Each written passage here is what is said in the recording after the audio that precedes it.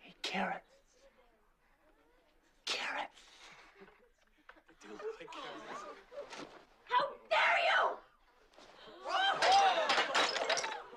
And Shirley, what is the meaning of this?